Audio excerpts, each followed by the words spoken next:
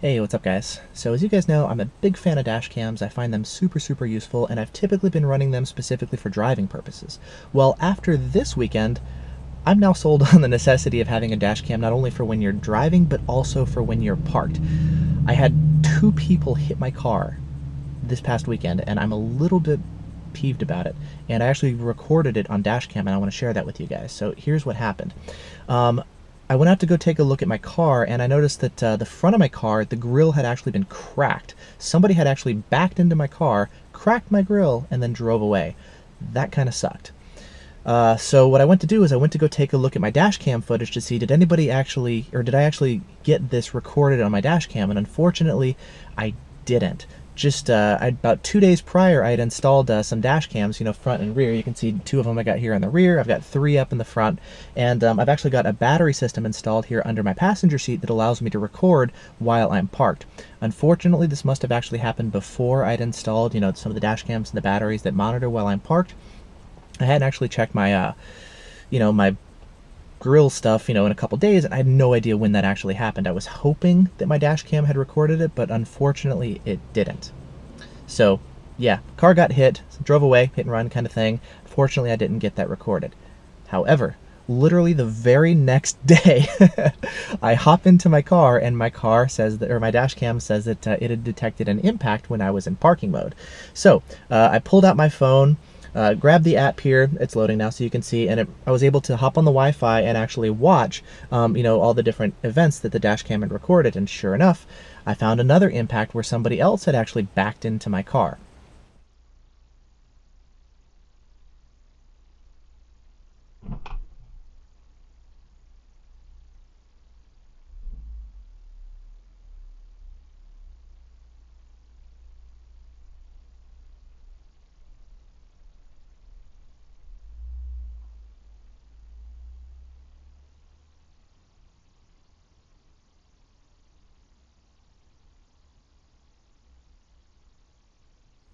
Now, what had happened is living in the city, I mean, this kind of stuff realistically happens all the time parallel parking, whatever, whatever. Some people even have like rubber pads on the bumpers and stuff. Anyways, somebody had actually backed into my car, hit my car, and my dash cam had actually recorded this entire thing. Luckily with this second event, there was no damage to my car. It was just a light impact to my uh, front license plate area, but that was enough to actually trigger my dash cam so that it was recording the whole thing. Uh, because that dash cam was actually hooked up to a battery system, it was actually recording the whole time, even while I was parked, without having to rely on my car's battery, which is really nice. Uh, additionally, with this particular one, uh, this is the Blackvue DR650S 2 channel. Uh, this particular one, the way the parking mode works, um, I actually really, really like it. Uh, it can automatically switch between driving mode and parking mode. It can sense when you're parked. Thanks to the GPS, it notices you're not driving anymore. And also with the G sensor, it notices, well, you're not driving anymore, right? So it can automatically switch into parking mode so you never have to think about it, which is awesome. So automatically switches into parking mode, begins running off the battery when you need it, and then when you hop back in your car and begin driving again, then it switches back into driving mode, which is awesome. So I really love that automation capability. Some of the dash cams you have to manually switch in and out of parking mode.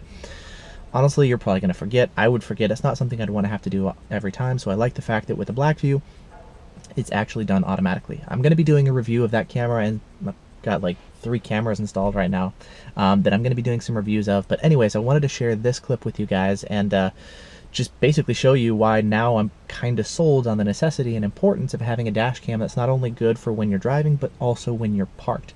Um, so I like the fact now that my camera can actually record this. Yeah, I definitely wish I'd had the system installed earlier so I could have seen the person who actually damaged my car, but now I'm actually really grateful that I've got a system that, should that happen again, my cameras will be recording. Um, as far as recording time with this particular system, uh, I've got the Blackvue B112. Um, I get about uh, nine hours of recording time if I'm running both the front camera and the rear camera, plus I have the Wi-Fi on for all the cloud stuff.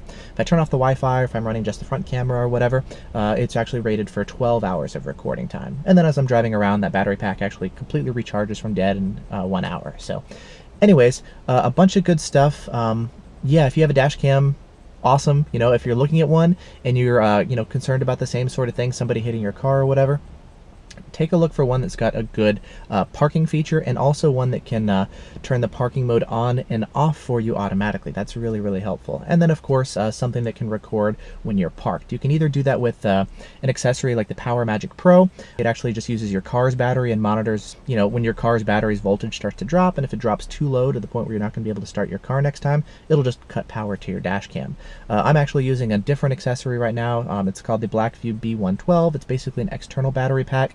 I have that installed in my car, and now I'm not actually relying on my car's battery. I have a secondary battery just for my dash cam, which I actually like that option a lot. Uh, it's more expensive. It costs 160 bucks. It's a bigger package to install than the Power Magic Pro, but I do like having that option here installed in my car. So I hope you've enjoyed this, and uh, yeah, more stuff to come as far as reviews, comparisons, all this kind of stuff. It's actually what I'm doing right now, and uh, I wanted to share this with you guys before I actually publish the full review of uh, the Blackvue and some of the other cameras that I'm reviewing. So, if you want to see more information about my favorite dash cams that I've had a chance to review so far, go to vortexradar.com slash dashcams. I'll have that link in the video description so you can go right to it. Um, but I'm basically covering, as I'm doing all these reviews, my favorite dash cams at different price points with different uh, features, parking mode or no parking mode, GPS or no GPS, front camera only or front and rear, all that kind of stuff. So I'm basically covering all of my favorite dash cams with different features and different price points, and you'll find that here on my website. But anyways, uh, just wanted to share this quick clip with you guys. Hope you guys have enjoyed it. Um, well, I'm glad I have the clip.